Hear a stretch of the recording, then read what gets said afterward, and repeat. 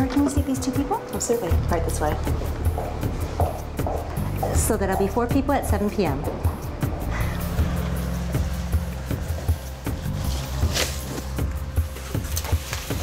And this category of bike is uh, a lot lighter and a lot more efficient for you as well. Oh, yeah. Ryan, Ryan, we need more cutlery, more teaspoons right away. All right. Why would my restaurant need workers' compensation coverage? I only hire students a few hours a week, and not even all year round.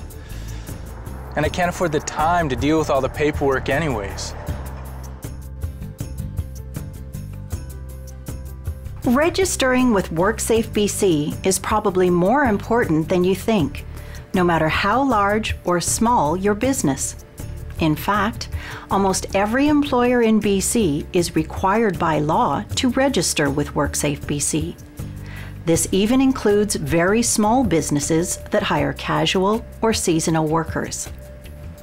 Registering is important because all workers are automatically eligible for compensation through WorkSafe BC, whether their employer is registered or not. If you are not registered and one of your employees is injured, you can be required to pay all compensation costs.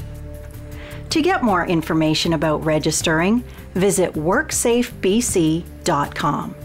And registering is easy, by phone or online. Remember, by registering with WorkSafe BC, you are protecting your company. It's just good business.